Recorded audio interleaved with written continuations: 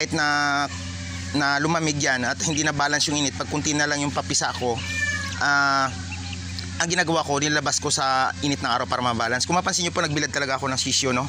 So kung bago ka lang dito sa, sa, sa channel ko na to mag-subscribe ka po. Yan po yung mga kasama niya. Ay marami na pong pumisa no?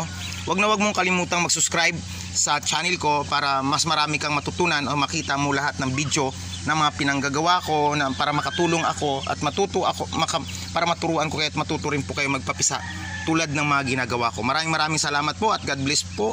Huwag makalimutan mag-subscribe para matuto po kayong papisa ng sisyo ng manok at itik.